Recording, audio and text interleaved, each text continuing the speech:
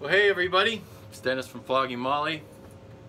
Uh, how you doing? I hope you're all keeping well, staying safe, staying in, flattening the curve, and uh, we're all stuck inside now, quarantined, and I, or we, thought it would maybe a good idea to show you some riffs if you want to learn some simple flogging Molly riffs. I will, uh, I'll show them to you guys. I've uh, never done anything like this before, so bear with me and uh, let me know if I'm going too fast or not explaining enough or explaining too much, etc. And um, I will do my best to uh, get better at this.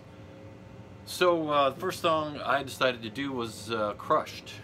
It's on our last record. Uh, this is the guitar, I, one of the guitars I used on the track, my Fender Telecaster.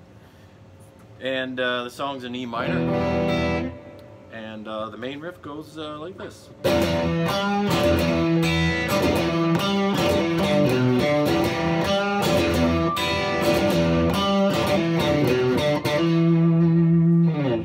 So one little thing I did that it's kind of minor, but uh, I think it sounds cool is uh, when I when I hit the D and the G string, I sort of bend up. I hit them together and bend up on the D a little bit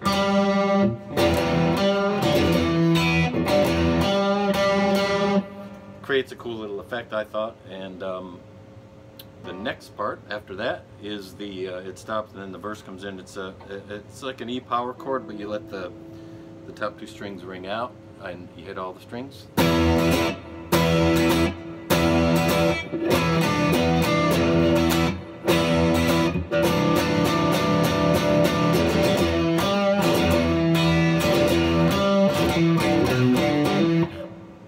So that that was just uh, uh, the the second part of that was an octave. Then it went to the seventh, the fifth, back to seventh.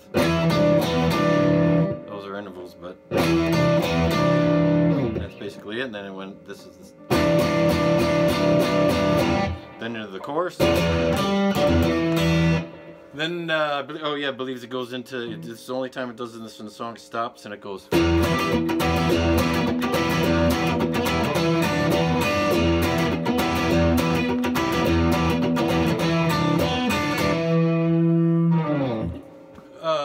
Then uh, then what do we have? Then it goes to the uh, the bridge or the B part. Sorry, that was a hi hat here.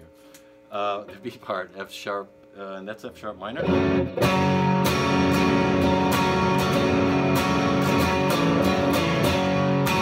Just taking my pinky off and putting it back down.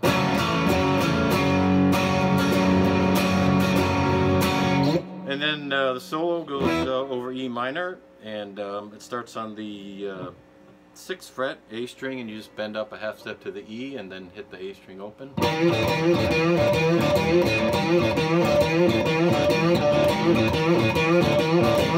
And then uh, it goes up to the 12th fret.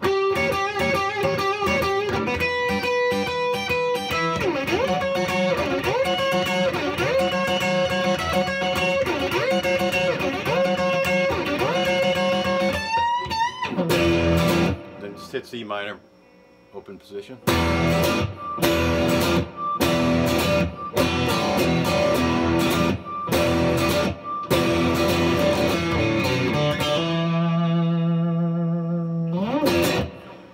That's basically it.